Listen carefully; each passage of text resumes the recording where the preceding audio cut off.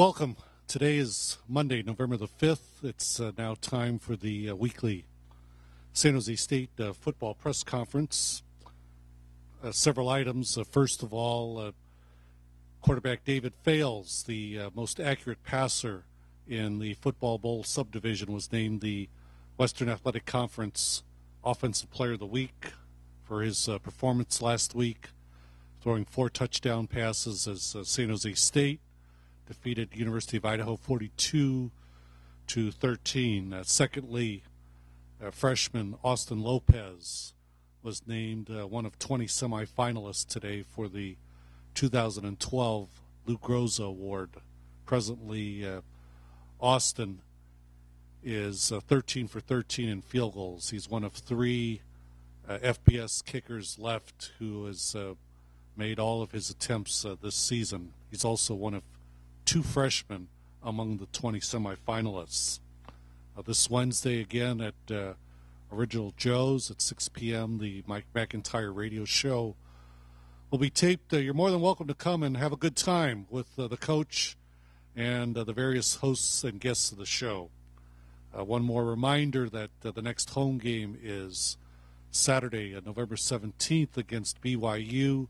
That is a 7:30 p.m. game. If your ticket says 1 o'clock, that ticket will be honored as good for admission.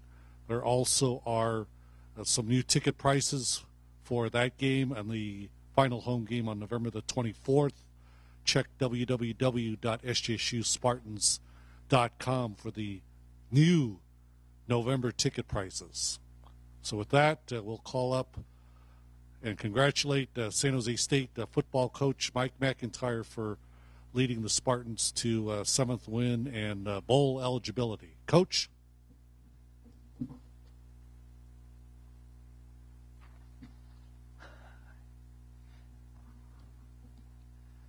Thanks, Lawrence. Appreciate it. Uh, a little bit about Saturday's game um, at Idaho. Um, didn't start out as well as we'd like. We had a couple mishaps, but I thought our kids were definitely 100% ready to play and uh, we had a mishap there at the beginning. Um, got down. Never, not one person on the sidelines panicked. Um, thought the kids held their composure and just kept playing. Um, once we got the lead, we never relinquished the lead, and uh, once we kind of got rolling there in the middle of the third quarter, um, when we felt like we had a chance to strike and finish them, our kids finished the game, and uh, it's uh, that was really really good to see and it was good to see them come back from some adversity and a lot of excitement from the other team. I knew the other team would be coming ready to play, um, and uh, um, I thought I was really proud of how they fought back and how they finished the football game. Uh, also, um, it was really exciting to see David Fales have another phenomenal game, and uh, he played great and definitely deserved the, the WAC uh, player, the player of the week. And I'll um, take any uh, questions from here. Coach, now that you have hit that bowl eligibility mark, what does anything change, or how, how do you guys, you know, approach going forward as you look to solidify your, your bowl standing? Well, uh, we have a saying: we're just going to turn on more steam, and uh, that's what we're going to do. We're going to prepare extremely hard uh, for this game. This is a big game for us, um, and a lot of people say, "What do you mean by that?" Well, um, a bunch of the guys in this room went there three years ago and got beat on the very last play of the game. And it was a heart crushing loss, just kind of like our Idaho game was three years ago.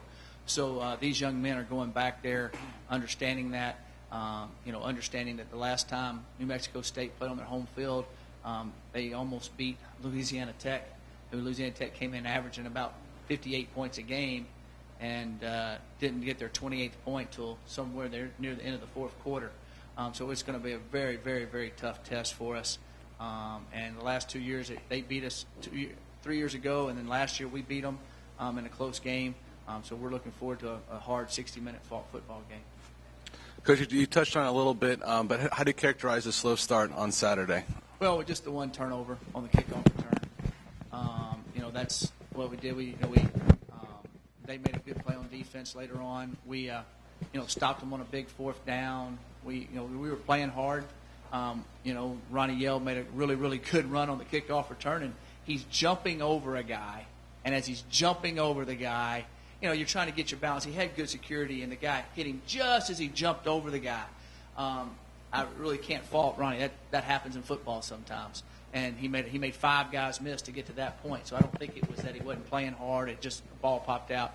But the you know the fumble on the kickoff um, return really gave them some a boost of energy there that kind of gave them life, so to speak. And then we fought through that, and uh, I think after I mean they had 10 three and outs. We came ready to play. Um, a quarterback threw for the record. You know he threw four touchdowns again. So you know you take away the beginning fumble. I think it's a whole different. I don't think the game's as close as it was for the time it was. Nothing against Idaho, but that kind of gave some life to it, made it a little bit. Um, we had to kind of fight out of some emotional deals there. And to be honest with you, that, that's good for our kids, for us to see. I think it's really good for us to see. On the road, get down like that, have two or three bad things go in a row, and you never hang your head and you keep fighting. I think that shows a lot to the maturity of our football team. Okay, so what does this mean for the school in San Jose State as far as revenue? Do you think there's going to be more people coming out to the games now? I sure hope so. Um, you know, we have the best record they've had here since 1986, before any of our players were even alive. And so we would love to see more and more people come out. But the people that are out there, we love them. They support us. They're loud. They're exciting. We're glad they're out there. But we would love more and more people to come see our product. There's no doubt about it. Uh, what does it mean to you personally, as, as, a coach, to have the team be bowl eligible? Well, um, uh, personally, it's it's fun to be able to play in the postseason. I also think that it's great for us to, for recruiting. Um, your name's going to be out there more. Um, it gives us more practice days for the 2013 team. Um, you, you, as a coach, you're always th- you have to always think that way. Um, and then, really, when it all boils down to it, it's just awesome to, for those young men to have an opportunity. Um, you know, we've got to keep winning to make sure we have the opportunity we want. Um, being bowl eligible doesn't always mean that you're definitely in, um, but uh, and with no way do we want to stop winning. Uh, we want to keep our we want to keep it going. We want to, you know, we want to get five road games in a row. I don't know how long it's been since around here. Ask Lawrence how long that's been, and uh, so that's a big, big deal for us. And we still absolutely have a shot to, to win the WAC. Uh, we win again this weekend. We're four and one in the WAC, and we have the best team in the WAC coming to our place on the last Saturday of the season. Um, anything can happen. Anything can happen. Hey, Coach. Today's Twitter question of the day, sponsored by Rubio's, comes from Colton Syke, and he wants to know uh, what are you doing to motivate the players and to keep them focused for this next game against a team like New Mexico State? Well, I really don't have to say anything, to be honest with you. Um, we talk about a lot of things, um, but I could tell even after the game was over, um, they were excited about our win, um, but they wanted to keep winning. Um, they're excited about what we've won on the road. They've never done that here before. Um, you know, the kids in our locker room haven't won a lot of games till this year. We've won more games this year than we won the two years previous, and we'd like to win enough games that we win more than the three years previous. And those young men are hungry they can taste it. They enjoy winning. Um, so I think it's contagious. Um, also, they um, last time they went to New Mexico State, you don't have to say much. Um, that was a tough, tough, heartbreaking loss, and those kids remember it. And most of those guys are playing, and uh, it's a big deal for us. Uh, so, much has already been said about David Fales, but how, how, did you react when you found out that he won the offensive award today? And, and, and did you think it was overdue? I haven't told him yet. Um, he probably has been told, uh, but I haven't seen him yet in person. He was here this morning. I was in meetings when, when he came by to eat. Uh, I'll uh, he'll be back around this afternoon, um, and I'll get to talk to him. Um, but uh, I'm pretty sure he was excited. But as I've gotten to know David, um, he's so humble. Um, he kind of just takes it all in, just kind of keeps going. He's steady. He's always got a smile on his face. Has a ton of energy, a ton of energy. If you come out last night to practice, he's one running around, yelling, smiling. He'll be there doing the same thing Tuesday. Um, a lot of spunk. Um, he's really uh, a contagious leader, and the kids get it. The kids love it. A lot of people will look at New Mexico State's record and, and kind of dismiss them. But like you said, they, they were right there with Louisiana Tech. Uh, they were only down seven nothing with Auburn this week. What does this? What does this team do that has allowed them to kind of stay close in some of these games? They, they're DeWayne's done a DeWayne's a phenomenal football coach. It's extremely hard at New Mexico State. History has proven that, um, but they are playing really really hard. Um, they have some good corners that can cover you. Um, they got a really good pass rusher, um, Devontae, um, number 52, can rush the passer.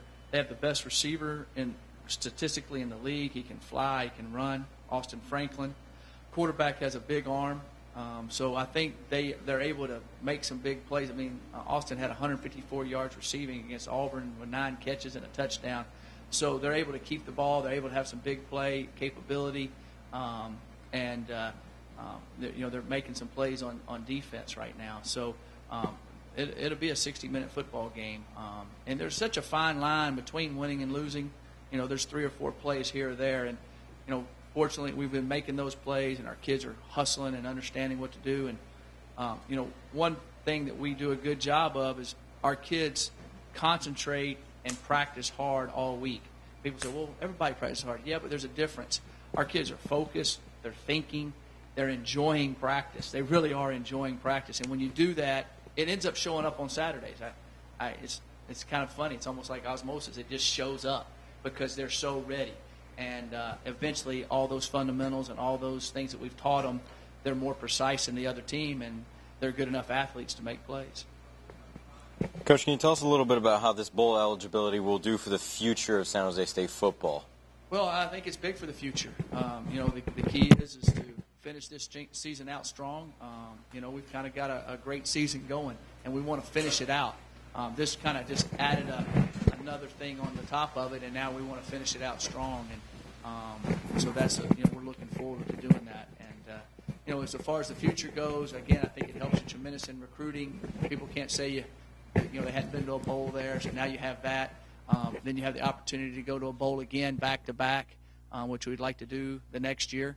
Um, so you know we're in the process of doing that. But you know, but before we look into the whole future of the program, we're really honestly looking for next week. But since you asked that question, I think it does help you in recruiting. I think it does give you something to build on, and then all of a sudden you get one up, then you got to get another one up, and and then you start building some stability in the program and. Um, hopefully, your season ticket sales go up and your revenue goes up. So I think it all builds on top of itself um, and goes from there. Yes. So you kind of just touched on what I was going to ask, but do you what do you think this means for not necessarily football, but for our school, for San Jose State? Well, I I think um, if we you know, keep taking care of business like we can, you know, we're gonna it puts us on television more. It gets our name out there in the paper more. We're talked about on the internet more.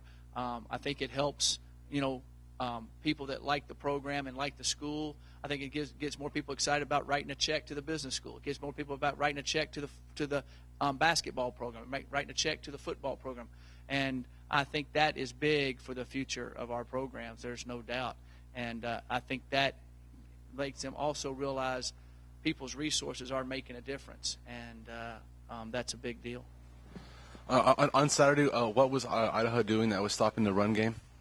Um, they were uh, they